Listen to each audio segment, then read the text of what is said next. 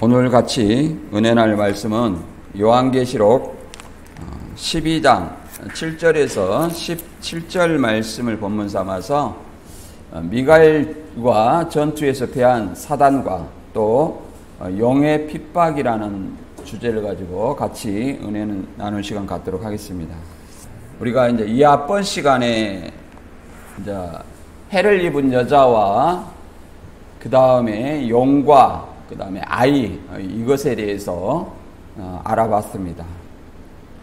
그리고 계시록 12장에서 14장까지는 삽입 계시 또는 삽입 환상이라고 어, 제가 설명드린 바 있습니다.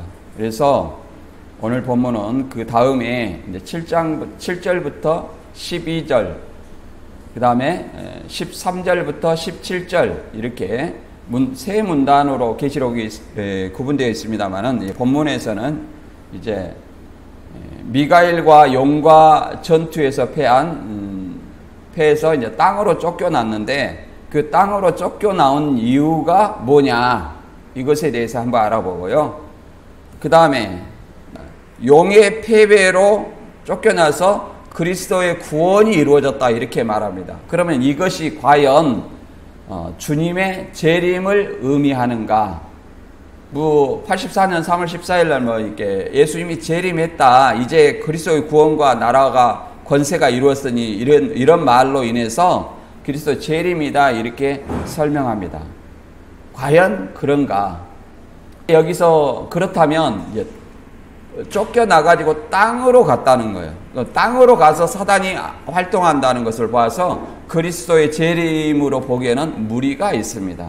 그리스도 재림이라는 것은 이 완전히 이 세상이 사단의 통치 아래서 벗어나 완전히 심판하는 때가 그리스도의 재림입니다. 그런데 땅으로 쫓겨났다 이런 것을 봐서 그리스도 재림으로 볼 수 있는 것이 아니다. 우리 이렇게 이해를 해볼 수 있습니다. 그리고 여자의 남은 자손이 있습니다. 여자의 남은 자손. 여자의 남은 자손 하면 창세기 3장 15절에 여자의 후손이 생각납니다. 물론 여자의 후손은 누구냐면 1차적으로 예수 그리스도예요. 예수 그리스도예요. 그러나 여기서 여자의 남은 자손들 이렇게 나와 있습니다. 자손들. 그러면 더 나아가서 누구를 얘기합니까? 성도들을 얘기를 합니다. 여자가 낳은 아이, 곧 성도들이라고 그랬죠. 여자가 낳은 아이가 어, 철장을 받아서 싸워서 이기고 또 더 나아가서 하나님의 보좌 앞으로 올려, 올려가는 것으로 봐서 승리한 성도, 천상교의 성도라는 것을 알았습니다. 그러나 이 여자의 남은 자손이 하나님의 계명을 지키고 예수님의 증언을 따라서 바다 모래 위에 섰다 용과 싸우려고 그러므로 이것은 지상교의 성도라는 것을 우리가 어, 잠깐 어, 이해를 해볼 수 있습니다. 이제 이런 것들에 대해서 구체적으로 본문을 읽고 알아보도록 하겠습니다. 계시록 12장 7절에서 17절입니다. 하늘에 전쟁이 있으니 미가엘과 그의 사자들이 영과 더불어 싸울세 영과 그의 사자들도 싸우나 이기지 못하여 다시 하늘에서 그들이 있을 곳을 얻지 못한지라 큰 영이 내어 쫓기니 예뺑 곧 마귀라고도 하고 사탄이라고도 하며 온 천하를 깨는 자라. 그가 땅으로 내어 쫓기니 그의 사자들도 그와 함께 내어 쫓기니라. 내가 또 들으니 하늘에 큰 음성이 있어 이르되 이제 우리 하나님의 구원과 능력과 나라와 또 그의 그리스도의 권세가 나타났으니 우리 형제들을 참소하던 자, 곧 우리 하나님 앞에서 밤낮 참소하던 자가 쫓겨났고, 또 우리 형제들이 어린 양의 피와 자기의 증언하는 말씀으로써 그를 이겼으니 그들은 죽기까지 자기들의 생명을 아끼지 아니하였도다. 그러므로 하늘과 그 가운데 거하는 자들을 즐거워하라. 그러나 땅과 바다는 화 있을진저 이는 마귀가 자기의 때가 얼마 남지 않은 줄 알므로 크게 분내어 너희에게 내려갔음이라 하더라. 용이 자기가 땅으로 내어 쫓긴 것을 보고 남자를 낳은 여자를 핍박하는지라 그 여자가 큰 독수리의 두 날개를 받아 광야 자기 것으로 날아가 거기서 그 뱀의 낯을 피하여 한 때와 두 때와 반 때를 양육받음에 여자의 뒤에서 뱀이 그 입으로 물을 강같이 토하여 여자를 물에 떠내려 가게 하려 하되 땅이 여자를 도와 그 입을 벌려 용의 입에서 토한 강물을 삼키니 용이 여자에게 분노하여 돌아가서 그 여자의 남은 자손 곧 하나님의 계명을 지키며 예수의 증거를 가진 자들로 더불어 싸우려고 바다 모래 위에 서 있더라. 아멘. 어, 여기서 말 그대로 이 삽입 계시가 계시록에서는 이제 본문 세 개 나온다 했습니다. 우리가 다시 한번 이제 앞에 계시록을 잠깐 되짚어 보면 첫 번째 삽입 계시가 몇 장이라고 그랬습니까? 계시록 7장. 계시록 7장은 여섯째 인과 일곱째 인을 떼는 사이에 있었는데 그것을 하는 이유는 하나님 앞에 온전히 설 수 있는 온전히 설 수 있는 자가 누구냐? 14만 4천 그리스도인과 더 나아가서 천상교회 성도인 셀 수 없는 흰 무리, 흰옷 입은 무리를 보여주기 위함이다. 그 다음에 두 번째 삽입 계시는 계시록 10장에서 11장 13절까지 이것은 여섯째 나팔과 일곱째 나팔 사이에 삽입 계시를 설명하는 내용입니다. 그리고 세 번째 삽입 계시 또는 삽입 환상으로서 12장과 14장이 삽입 어, 환상의 삽입 계시입니다.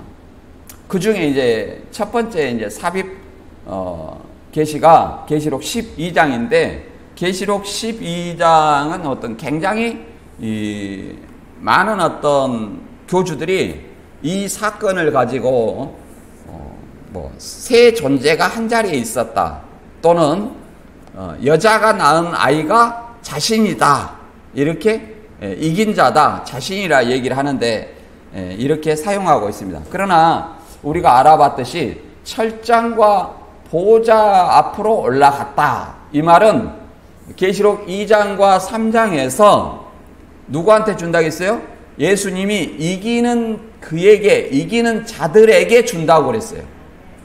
그러면 이기는 성도에게 줬다는 거. 이겼다는 것은 계시록에서 이겼다는 것은 순교한 성도를 얘기합니다. 순교자들을 얘기해. 순교한 영혼들을 얘기합니다. 예수님도 이김으로 보좌에 앉았다. 내가 이기고 아버지 보좌에 앉았다는 것은 십자가에 죽으시고 부활하심으로 보좌에 앉았잖아요. 그러므로 성도들도 예수님처럼 복음을 전하다가 순교하는 것이 보다 천상에 에, 이겼다. 그래서 이기고 어디에 앉는다? 예수님 보좌에 앉게 된다. 그래서 승리한 성도라고 어, 이해를 해볼 수 있습니다. 물론 예수님으로 본 사람들이 많이 있어요. 그러나 어, 예수님으로 볼 수 없는 것은 예수님이 이긴 자에게 철장과 보좌를 준다 했기 때문에 예수님은 될 수 없다. 어, 그리고 이제 여자가 낳은 이 아이를 어, 교주라고 하는데 그것은 뭐 이 땅의 교주는 될 수 없습니다. 천상교회 성도들이니까. 그리고 이제 천상에서 미가엘과 그의 천사들, 그 다음에 용, 곧 사단과 그의 천사들이 이제 하늘에 전쟁을 일으킵니다. 전쟁을 일으키고, 어, 쫓겨나요. 이 쫓겨나는 원인이 뭐냐? 곧, 그리고 또 성도들이 이겼다고 얘기를 합니다. 누구를 통해서 이겼냐면 그리스도의 피, 그리스도의 피, 예수님의 피와 자기의 증거하는 말로 이겼다 이렇게 얘기합니다. 이것은 지상계의 성도를 얘기하는 거 아니에요. 그들은 죽기까지 자기 생명을 아끼지 아니었다는 말은 순교했다 그 말이에요. 순교했다. 그래서 우리가 계시록에 자꾸 말씀드리지만 이기는 자와 이긴 자는 다르다. 이기는 자는 계시록 2장과 3장에 나오는 지상교회 성도들을 얘기하는 것이고 지상교회 성도들은 전투하는 교회의 성도를 얘기합니다. 그리고 천상교회에는 순교한 영혼들 곧 승리한 교회 승리한 교회를 얘기를 합니다. 그래서 이렇게 차이가 있어요. 승리한 교회를 이긴 자 이렇게 표현합니다. 그래서 이겼다는 것은 누구를 통해서 그래서 미가엘이 미가엘과 그의 사자들이 이긴 것은 미가엘과 그의 사자들이 이긴 것, 또 성도들이 이긴 것은 누구 때문이냐? 그리스도의 피, 예수님의 십자가의 대속으로 이겼다는 거예요. 대속으로.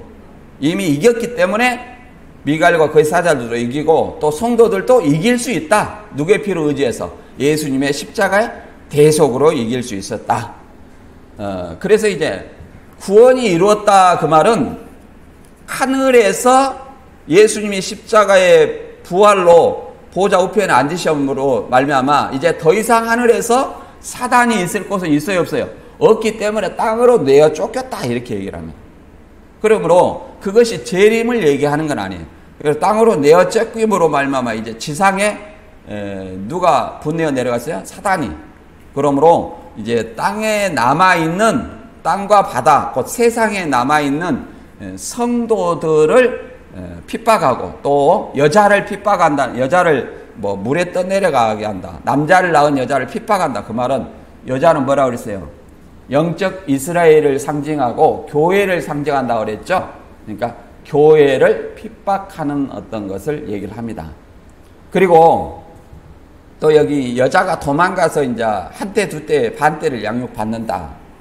그리고 계시록 13장에 또 42달에 어, 핍박받는 어떤 기간이 있어요. 이것은 뭘 의미하냐면 예, 전 3년 반 이렇게 보는 견해가 있습니다. 전 3년 반 계시록 12장은 전 3년 반 환란, 계시록 13장은 후 3년 반 환란 이렇게 보는 견해도 있습니다. 그러나 계시록 13장에 여자 어 일곱 머리 열뿔 짐승 중에 칼에 상하였다 살아난 짐승 있고 그 다음에 땅에 올라온 두 뿔 가진 짐승 있죠. 이것은 적 그리스도와 거짓 선지자를 상징한다고 그랬죠. 근데 그 당시에 적 그리스도는 누구였냐면 도미티안 황제였습니다. 그리고 사도 요한도 도미티안 황제 숭배를 거부해서 어디에 갔어요? 반모섬으로 갔고 또 안디바도 도미티안 황제 숭배를 거부해서 순교를 당했습니다.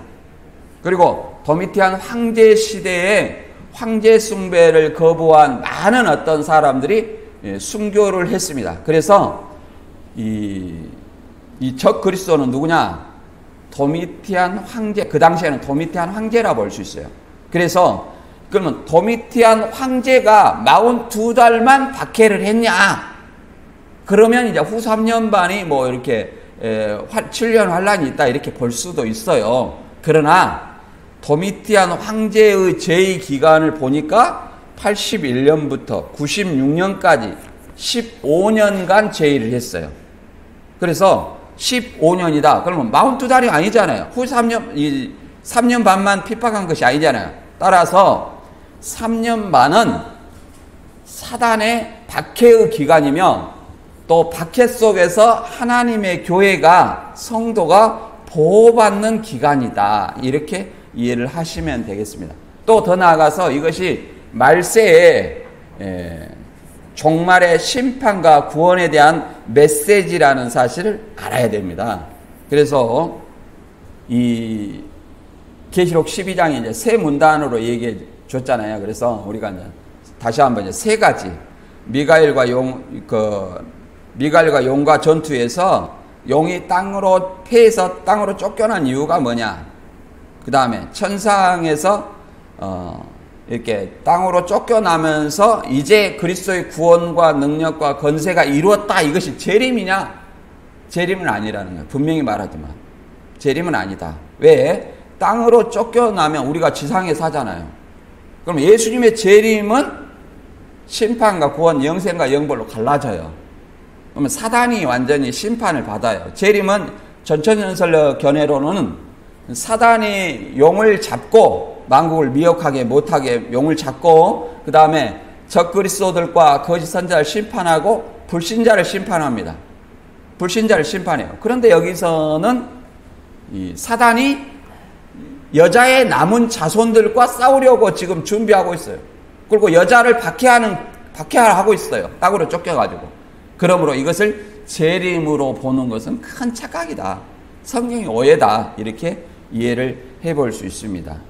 그래서 특히 이제 신천지가 우리가 이 앞번에 말했지만 이 세 존재를 배도자, 멸망자, 구원자, 뭐 유재열, 뭐 오평호, 이만희 씨 이렇게 얘기를 하는데 신천지에 나간 사람들도 다 뭐냐면은 또 신천지를 또 여자라고 말하고 자기를 또 아이라고 말하고 또 교주라고 말해요. 구원자라고.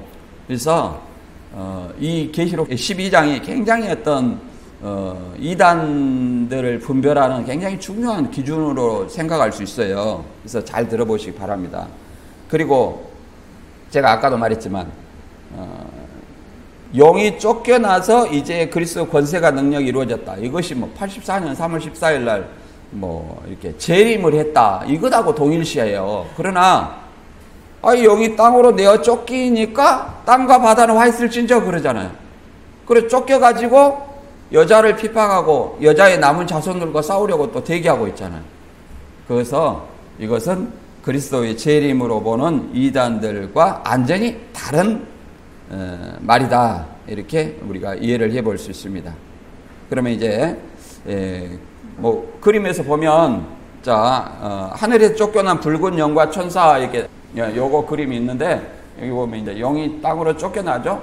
그러니까 이제 그리스도의 권세가 이루었다 그러면 예수님의 십자가의 죽음과 부활로 말미암아 보좌 우편에 앉았죠. 이것은 이걸 이겼다고 얘기하는 거예요. 이걸 승리했다.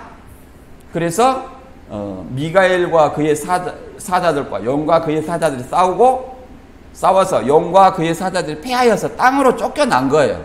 예수님이 보좌의 우편에 앉아서 승리했기 때문에 이제 사단이 하늘에서 설 자리를 잃었어요. 그러므로 말미암아 하늘에 있는 성도들도 승리한 교회 이렇게 말합니다. 지상에는 계속 사단의 미혹의 역사가 있어요. 그러므로 전투하는 교회 이렇게 말합니다. 그 다음 본문 한번 읽어보겠습니다. 12장 7절부터요. 하늘에 전쟁이 있으니 미가엘과 그의 사자들이 용과 더불어 싸울세 용과 그의 사자들도 싸우나 이기지 못하여 다시 하늘에서 그들이 있을 곳을 얻지 못한지라 큰 용이 내어 쫓기니 예뱀 곧 마귀라고도 하고 사탄이라고도 온 천하를 꿰는 자라 그가 땅으로 내어 쫓기니 그의 사자들도 그와 함께 내어 쫓기니라 그러면 이게 뭐 내어 쫓겼다 해서 재림입니까? 땅으로 내어 쫓겼잖아요. 이게 하늘에서 승리했다 이렇게 얘기를 합니다. 우리가 영이라는 것은 예뱀 예뱀이요 마귀요 사단이라고 하는 것은 뭘 얘기하냐면 창세기 때 아담과 하와를 미혹했다는 거예요. 아담 하와를. 예, 아, 아담과 하를 그 미혹한 사단이 오늘날까지 미혹하고 있다 이렇게 설명하고 있습니다. 온 천하를 깬다. 뭐 장막 성전만 미혹하는 거예요. 온 천하, 온 천하.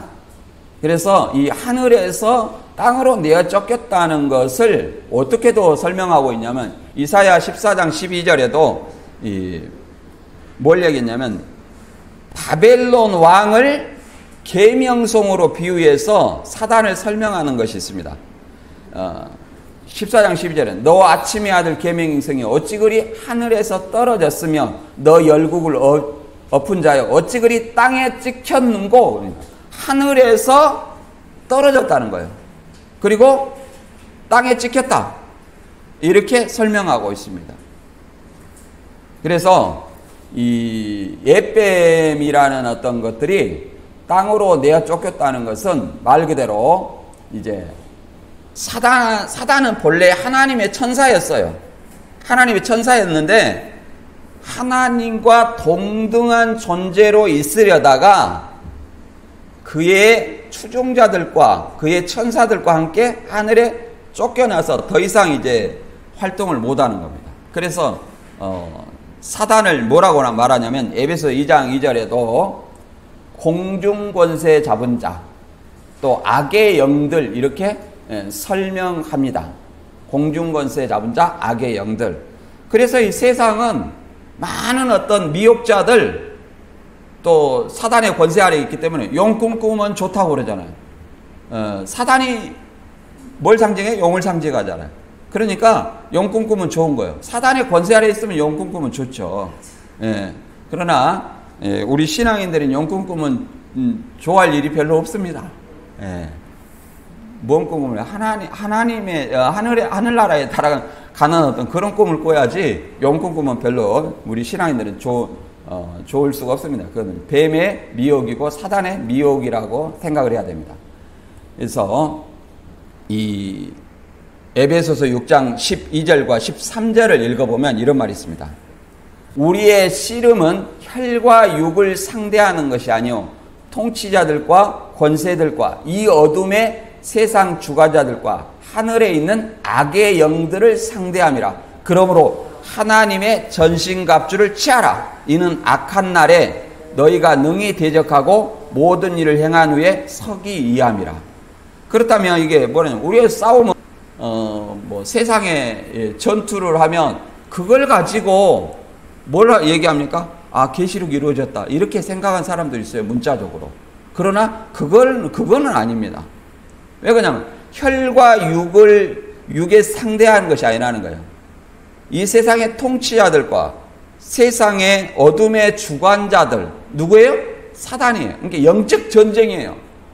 예를 들어서 아담을 미혹한 아담과 하와를 미혹한 뱀이 뭘 말했습니까? 아담과 하와에게 말한 하나님의 말씀을 교묘히 왜곡해 가지고 미혹을 했습니다. 하나님이 참으로 동산 모든 나무의 실과를 따먹지 말라 하더냐? 그 따먹지 말라는 것은 있었죠.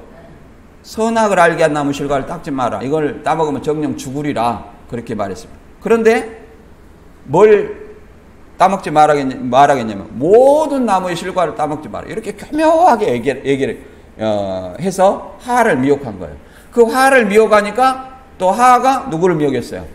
아담을 미혹했죠. 그래서 그 불순종의 죄로 인해서 죄가 들어와서 오늘날 계속 사단이 온 천하를 미혹했다 이렇게 말합니다. 또 초림 때도 예수님을 테스트하기를 뭘 가지고 테스트했습니까? 사단이 성경 말씀을 가지고 예수님을 테스트를 했어요. 네가 정정 하나님의 아들이라면 어, 성경이 기록됐을 때 하나 그 천사들이 너를 받들여 돌에 에, 네 몸을 네 몸이 돌에 에, 떨어뜨리 부딪혀 떨어뜨리지 않게 붙잡을 것이다. 이렇게 뛰어내려 봐라. 이렇게 얘기했습니다. 그러니 예수님이 뭐라고 하냐면 주 너의 하나님을 시험하지 말라. 둘 다 뭐 무슨 말씀? 예수님도 하나님의 말씀, 사단도 하나님의 말씀으로 미혹했다는 사실이에요. 그러니까 성경을 말한다 해서 다 이게 하나님의 보낸 선지자가 아니라는 거예요. 누가 있냐면 거짓 그리스도들과 거짓 선지자들이 세상에 많아요. 말세가 갈수록 더 악한 사람들이 많고 거짓 선지자와 저 그리스도들이 많다는 거예요. 왜 하나님을 믿는데 이렇게 악한 사람들이 많느냐? 그렇게 생각하는 사람이 말했습니다. 그러나 성경에는 이미 그렇게 돼 있어요. 거짓 그리스도들과 거짓 선지자들이 일어나 할 수만 있으면 택한 자들도 미혹하게 하리라. 보라 내가 너희에게 미리 말했다는 거예요. 미리 말했어요. 그럼 우리는 어떻게 해야 됩니까? 에베소 6장 말씀처럼 하나님의 전신갑주를 입어라. 그런데 말씀을 몰라. 그러면 어떻게 해요? 어, 이단에 속한 사람은 한두 번 훈계하에 멀리하라 그러니까 아이고 이단이다 도망만 가는 거예요. 그러면 하나님 볼 때 이긴 자입니까? 계시록에는 이기는 자가 하나님의 백성이에요. 꾸준히 이겨야 되는 거예요. 그들의 미혹에도 얘기해야 되고 내 자신의 어떤 어, 나태함과 게을름 그 다음에 세상 신앙을 포기하고자 하는 마음 이런 마음에서 이겨야 되는 거예요. 더 나아가서 이제 예, 영이 쫓겨나서 그 다음에 그리스도의 권세가 이루었다는데 어떻게 되는지 그 다음 읽어보겠습니다. 계시록 12장 10절입니다. 내가 또 들으니 하늘에 큰 음성이 있어 이르되 이제 우리 하나님의 구원과 능력과 나라와 또 그리스도의 권세가 나타났으니 우리 형제를 참소하던 자 곧 우리 하나님 앞에서 밤낮 참소하던 자가 쫓겨났고 또 우리 형제들이 어린 양의 피와 자기의 증언하는 말씀으로써 그를 이겼으니 그들은 죽기까지 자기 생명을 아끼지 아니하였도다. 그러므로 하늘과 그 가운데 있는 자, 거하는 자들은 즐거워하라. 그러나 땅과 바다는 화 있을진저 이는 마귀가 자기의 때가 얼마 남지 아, 어, 아는 줄을 알므로 크게 분내어 너희에게 내려갔음이라 하더라. 너희에게 내려갔음이라 그러면 너희라는 사람은 땅과 바다에 살고 있는 그리스도인들을 얘기하는 거예요. 그래서 이게 즐거워하는 사람이 있고 이제 싸울 준비를 해야 되는 사람이 있어요. 즐거워하는 사람 누구냐면 하늘과 그 가운데 있는 사람들, 천상교회 성도들. 그 다음에 마귀하고 싸울 준비를 해야 되는 사람 누굽니까? 이 지상교회 성도들. 전 그래 지상교회를 뭐라고 하냐? 전투하는 교회. 전투하는 교회 이렇게 말합니다. 그래서 어 12장 10절에 하늘에 큰 음성이 있어 이르되 이제 우리 하나님의 구원과 능력과 나라와 그리스도의 권세가 이루었다 이 말은 뭐 때문에 그럽니까? 예수님이 십자가 십자가의 죽음과 부활로서 보좌 우편에 앉아서 승리했기 때문에 용이 쫓겨났잖아요. 그러므로 하늘에서 이제 그리스도의 권세가 온전히 이루었다. 더 이상 하늘에는 어 이제 사단이 설 자리가 있어요, 없어요? 사단과 그의 천사들이 설 자리가 있어요, 없어요? 없다는 거예요. 그래서 이것은 하늘의 그리스도의 권세가 이루었다는 거지, 이 땅에 재림했다는 내용이 아니라는 거예요. 84년 3월 14일 뭐 재림했다. 재림했고 또 일곱째 나팔 불었다. 좋은 것은 다 하다 보니까 논리에 맞아야 하면 안 맞다는 거예요. 안 맞다. 근데 하나님 앞에서 밤낮 참소하던 자가 마귀라는 거예요. 하나님 앞에서 반낮 참소하던 자. 우리 그 엽기서를 읽어보면 어떤 말이 생각나냐면 예, 마귀가 욥을 어, 이렇게 참소를 하잖아요. 욥이 괜히 하나님 섬긴 줄 아냐고 이렇게 욥을 테스트를 하게 합니다. 어, 욥의 생명만 건들지 말고 한번 네가 시험해 봐라. 욥이 얼마나 어, 하나님 앞에서 의로운지. 그래서 테스트를 했습니다. 자, 어, 재산을 치고 질병으로 치고 가족 가족을 쳤습니다. 그래서 또 욥의 그 하나님의 하나님을 의지하는 그 순전함은 어, 지켰죠. 그래서 배나 축복을 받았다는 내용이 욥기서입니다. 마찬가지로 하나님은 우리를 이 참소하던 자 곧 마귀가 우리를 어, 땅으로 내어 쫓겠으면 이 땅에도 마찬가지로 우리를 교회를 핍박하고 성도들을 미혹하고 하는 일이 이 땅에 있다는 거예요. 그러면 우리는 그들을 어, 그들을 대적하기 위해서는 어떻게 해야 돼요? 하나 항상 전신 갑주를 입어야 된다. 예수님께서도 요한복음 16장 33절에 뭐라고 그랬습니까? 내가 세상을 이겼기 때문에 너희는 담대하라 이렇게 말합니다. 세상을 너희가 세상에서 환란을 당한다는 거예요. 그러니까 세상에서는 어, 환란을 당할 수밖에 없어요. 이게 사단의 역사예요. 그러나 담대하라. 내가 세상을 이겼노라. 예수님이 이겼기 때문에 우리도 이길 수 있다는 거예요. 누구를 의지해서? 예수님의 십자가의 대속을 의지해서. 그래서 11절에 우리 형제들이 어린 양의 피와 자기의 증언하는 말씀, 복음, 십자가와 복음으로 말미암아 이겼다. 싸우다 싸우다가 뭐예요? 죽었다는 거예요. 순교했다. 이걸 가지고 교주들이 뭐 이겨 가지고 뭐 증거장 막 성전으로 가야 되니 이런 말을 하는데 이거는 순교자들을 얘기하는 거예요. 이겼으니 과거형이죠. 과거형. 과거면 이긴 자라는 것은 순교한 성도들을 얘기하는 거예요. 그래서 그리고 그들은 죽기까지 그러면 살아있는 사람한테 야 저들은 참 죽기까지 자기 생명을 아끼지 않았어 이렇게 말할 수 있습니까? 순교한 성도들에게 이겼다고 말하는 거고 그들에게 자기 생명을 아끼지 않고 순교했다 이렇게 말하는 거지 뭐 살아있는 사람한테 그렇게 얘기하지 않습니다. 그러므로 이제 하늘의 성도들 순교한 성도들이죠. 그 가운데 거하는 자들은 즐거워하라 이렇게 말하는 겁니다. 그러나 땅과 바다는 땅과 바다는 이 세상이죠. 화 있을지요. 왜? 마귀가 자기의 때, 자기의 때라는 것은 얼마예요? 예수님의 재림, 재림하기 때까지. 예수님이 재림하면 영 잡고 천년 후엔 사단을 완전히 심판하잖아요. 영 잡아서 만국을 미혹하지 못하게 하잖아요. 그러니까 자기의 때라는 것은 재림 때, 재림 때까지예요. 얼마 남지 않은, 않은 줄 알므로 분내어 너희에게 그러면 땅과 바다에 거하는 너희에게 내려갔습니다. 그러면 이 예수님의 재림 때까지는 우리는 많은 어떤 시험과 미혹, 핍박, 환란이 우리에게 있다는 것을 당연히 생각해야 됩니다. 왜 나한테 이런 일이 생기는가? 이거 하나님의 역사가 아니다. 발세가 갈수록 사기꾼들도 많고 적그리스와 거짓 선자는 많다는 것을 알아야 됩니다. 그러나 우리는 어떻게 해야 되냐? 계시록 14장 12절에 보면 성도들의 인내가 여기 있나니 그들은 하나님의 계명과 예수의 믿음을 지키는 자니라. 이것이 이기는 거예요. 하나님의 계명과 예수의 믿음을 지키는 것이 뭐예요? 이기는 거다 이 말이에요. 이거 할 때는 뭐가 필요해요? 인내가 필요하. 인내와 믿음이 필요하다 그 말이에요. 다른 거 필요하지 않아요. 물론 그 당시에는 하나님의 계명과 예수의 믿음을 지켜서 황제 숭배를 하지 않는 것이 이기는 거였죠. 계시록 14장 15절에 짐승의 우상에게 경배하지 아니한 자는 몇이든지 다 죽이게 하더라. 이게 장막성전 쫓겨난 건 아니에요.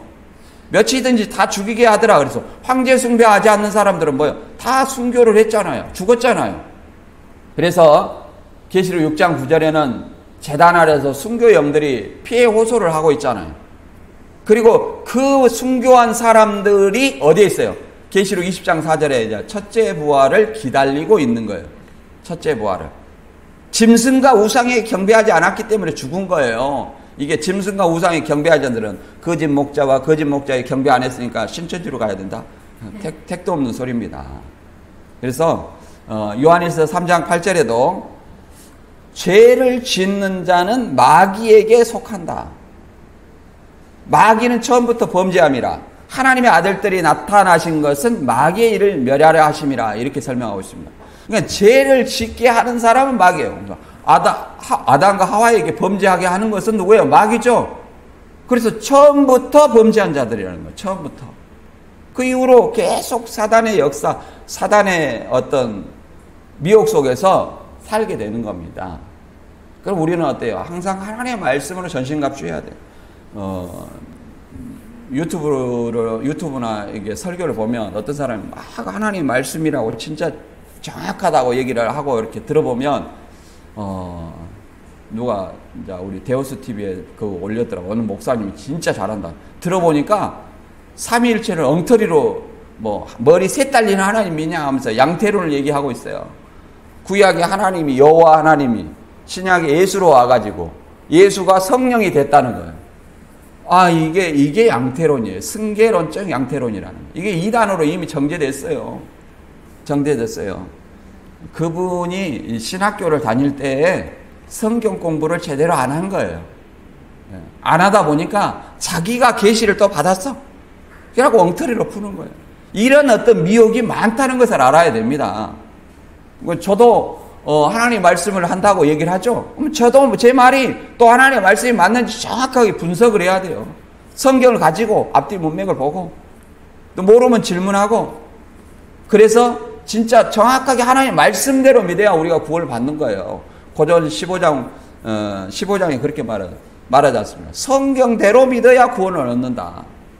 복음대로 믿어야 구원을 얻는다. 복음을 왜곡하면 뭐예요? 저주 받는다고 말하고 있습니다. 그래서 그 다음에 이제 우리가 어, 용이 땅으로 내어 쫓겨서 이제 핍박을 한다겠죠. 이것을 한번 그 다음 13절을 읽어보겠습니다. 계시록 12장 13절 용일이 땅으로 내어 쫓겨서 여자를 핍박하는 내용이 나오는데 한번 보도록 하겠습니다. 용이 자기가 땅으로 내어 쫓긴 것을 보고 남자를 낳은 여자를 핍박한지라 그 여자가 큰 독수리의 두 날개를 받아 광야 자기 곳으로 나가다가 거기서 그 뱀의 낯을 피하여 한 때와 두 때와 반 때를 양육받음에 여자의 뒤에서 뱀이 그 입으로 물을 강같이 토하여 여자를 물에 떠내려 가게 하려 하되 뭐 땅이 뭐 그 여자의 토한 강물을 삼켰다 이렇게 설명하고 있습니다.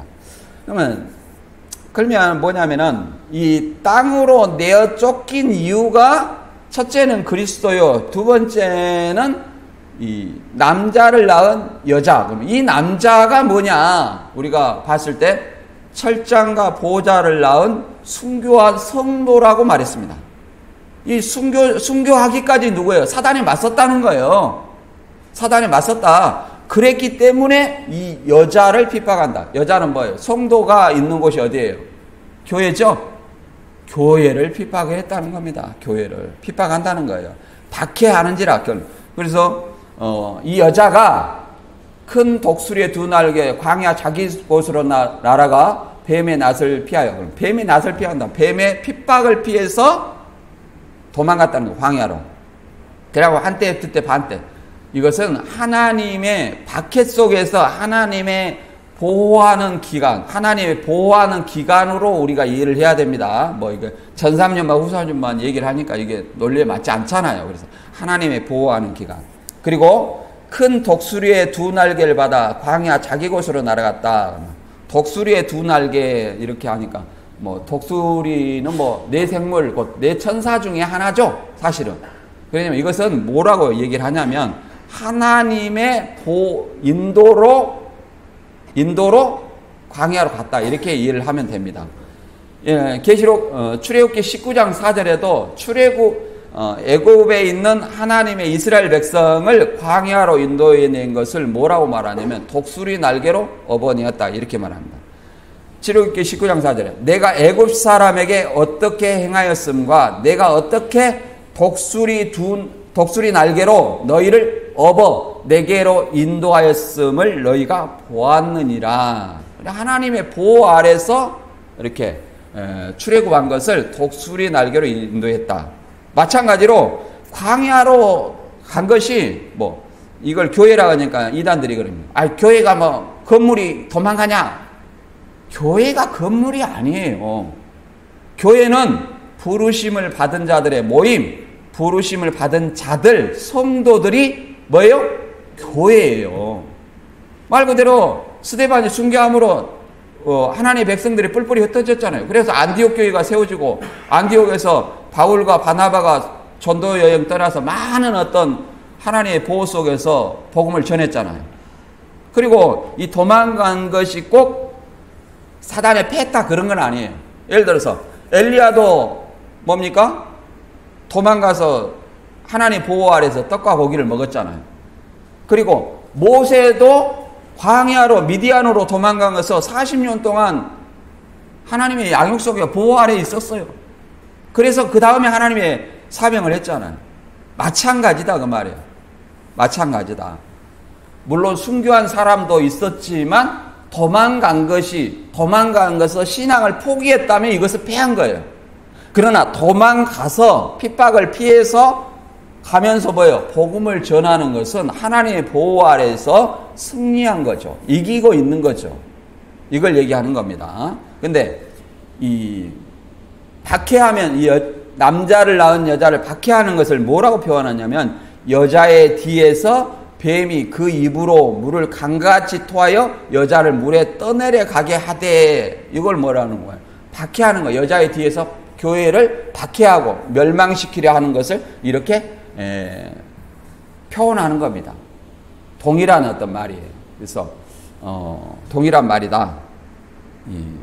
하나님의 보호 아래 있다는 것은 우리가 이제 광야 40년도 생각을 해보면 어, 우리가 이제 그 저도 이제 출애굽의 에, 역사가 하나님의 진짜 놀라운 역사였다는 것을 음, 김승학 그 장로님이 그 사우디아라비아에서 그 본 출애굽의 그 역사적 사실을 어, 다 사진이나 역사적 그 검증을 한 것이 있어요.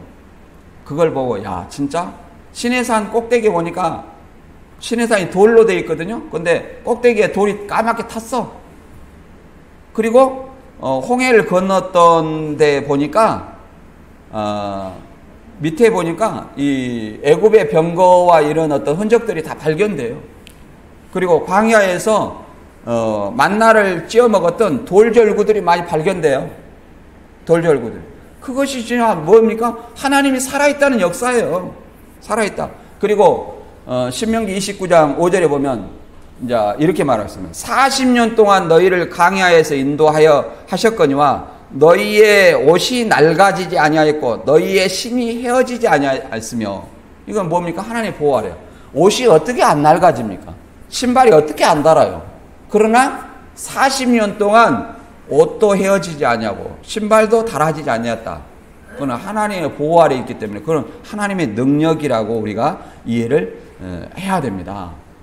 우리는 그런 하나님의 보호 아래 있다는 걸 알아야 돼요. 그 다음 12장 16절과 17절에 이제 마지막 읽어보겠습니다. 땅이 여자를 도와 그 입을 벌려 용의 입에서 토한 강물을 삼키니 용이 여자에게 분노하에 돌아가서 그 여자의 남은 자손 곧 하나님의 계명을 지키며 예수의 증거를 가진 자들과 더불어 싸우려고 바다 모래 위에 섰더라 이렇게 말합니다. 뭐 땅이 여자를 도와 어, 그 입을 벌려 용의 용의 입에서 토한 강물을 삼킨다. 그러면 큰 물을 이렇게 토해냈어요 여자가. 그러면 박해를 하고 박해를 통해서 어, 교회를 멸망시키려고 했지만 오히려 어, 강물을 땅이 삼켰다 그 말은.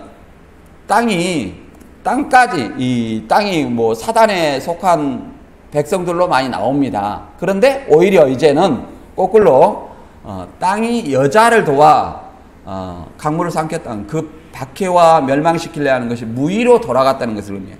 아무 효력이 없다. 어, 사단의 공격에서 아무런 효력을 발휘하지 못했다. 이렇게 얘기합니다. 그래서 이제 더 이상 교회는 하나님의 보호 아래 있기 때문에 사단이 아무런 핍박에도 무너지지 않는다는 거예요. 그러니까 이제 각 개인 공격을 합니다. 여자의 남은 자손, 남은 후손들, 그러면 여기는 자손이라 한 사람 단수로 되어 있지만 후손들을 얘기합니다. 여자의 후손, 여자의 남은 자손들, 곧 하나님의 계명을 지키며 예수의 증거를 가진 자들로 더불어 싸우려고 바다 모래에 섰더라. 그러니까 여자의 남은 자손, 그러니까 아, 창세기 3장 11절에 예수냐 이렇게 생각하는 사람도 있어요. 그건 아닙니다. 왜 그러냐면은 하나님 하나님의 계명을 지키며 예수의 증거를 가진 자들 그러잖아. 예수의 증거를 가진 자들 그러면 성도들을 얘기하는 거예요. 교회의 성도들. 여자가 교회라겠죠? 그러면 여자의 남은 자손은 뭐 교회의 성도들, 성도들과 이제 개별적으로 싸우는 거예요. 개별적으로. 어떻게 싸워요? 창세기 3장 15절에는 여자의 원수가 되게 하고 너도 여자의 후손과 원수게 되게 하려니 여자의 후손은 내 머리를 상하게 할 것이요. 그래서 1차적으로는 여자의 머리를 상하게 하는 것은 여자를 그 뱀의 머리를 상하게 하는 것도 예수 그리스도예요. 그러나 더 나아가서는 여기서 여자의 후손은 뭐예요? 성도들이다. 성도들이 누구와 이제 싸웁니까? 사단과 싸워서 결국은 예수 그리스도의 피로 말미암아 승리하는 것을 예, 말하고 있습니다. 하나님의 계명과 예수의 증거, 증거나 계시록 14장 12절에 말씀처럼 성도들의 인내가 여기니 그들은 하나님의 계명과 예수에 대한 믿음. 그러니까 예수의 증거는 뭐예요? 복음이에요. 복음에 대한 믿음으로 승리할 수 있는 거예요. 다른 걸로 승리할 수 있는 거 아니에요. 그래서 이 고린도후서 10장 4절부터 6절에 보면 이런 말이 있습니다. 우리가 싸우는 것이 영적 싸움이에요. 세상의 전쟁하고는 아무 상관이 없습니다, 솔직히. 물론 성경에 있는 나타난 현상이 그와 비슷하게 나타나긴 해요. 나타나긴 해. 그러나 우리의 말씀, 말씀으로 싸우는 것은 영적 전쟁이란 거예요. 그래서 고린도후서 10장 4절에 보면 우리의 싸우는 무기는 육신에 속한 것이 아니요 오직 어떤 견고한 진도 무너뜨리는 하나님의 능력이라 모든 이론을 무너뜨리며 하나님 아는 것을 대적하여 높아진 것을 다 무너뜨리고 모든 생각을 사로잡아 그리스도에게 복종하게 하니 너희의 복종이 온전하게 될 때에 모든 복종치 않는 것을 버려려고 준비하는 중에 있노라. 자, 우리의 무기는 육신에 속한 것이 아니라는 거예요. 오직 어떤 견고한 진도 무너뜨리는 하나님의 능력이다. 하나님의 능력은 뭐예요? 복음입니다. 복음이 하나님의 능력이 오늘 말씀만이 우리의 검이고 말씀만이 우리의 방패고 말씀만이 우리의 예, 견고한 무기라는 것을 알아야 된다. 그래서 하나님 아는 것을 대적한다. 하나님 안다고 잘못 아는 것을 대적하는 거. 잘못 아는 거. 내가 아는 것이 내가 알고 내가 행하는 것이 하나님의 뜻이냐? 이렇게 생각하는 것들을 다 뭐예요? 하나님의 말씀으로 다시 그 생각들을 사로 잘못된 생각을 사로잡아서 누구한테 그리스도 말씀 앞에 복종케 해야 됩니다. 그렇게 복종이 될 때에 너희의 복음이 복종이 온전하게 될 때에 모든 복종치 않는 것, 복음을 복종치 않는 자들을 벌하라고 예비하고 있는 중이라. 벌하라고 복음을 복종치 않는 것을 벌하는 때는 언제? 그리스도 재림 때입니다. 복음을 복종치 않는 자들은 불신자들은 이미 심판받기로 작정돼 있어요. 예, 교회 안에도 복음을 예, 복종치 않는 자들이 있다는 거예요. 무늬만 예, 교인, 외식하는 자, 넘어지게 하는 자, 그 다음에 불법을 행하는 자. 이들이 뭐예요? 복음을 복종치 않는 자들이라는 거예요.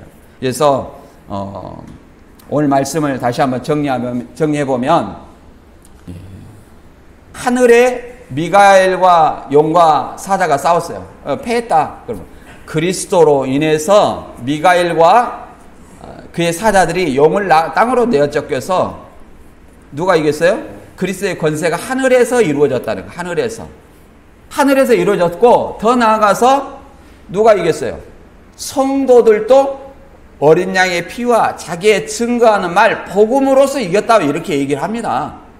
그래서 천상에서 이제 더 이상 하늘에 이 사단의 역사가 있어요 없어요? 없다. 그래서 그리스도의 권세가 이루어졌다 이렇게 합니다. 그 천상에서 이제 땅으로 내어 쫓겼죠. 그러므로 우리 이제 지상교회 성도들은 하나님의 계명과 예수의 증거를 가지고 이제 싸워야 되는 거예요. 그래서 우리는 뭘 해야 됩니까? 하나님의 전신갑주를 입고 그들과 그 미혹에 싸워야 된다는 거예요. 이게 우리의 사명입니다. 그래서 오늘 말씀을 의지해서 저와 여러분이 그리스도의 피, 십자가의 대속과 또 하나님의 예수님의 복음을 가지고 어, 다 승리하는 저와 여러분이 되시기를 주님의 이름으로 축원합니다.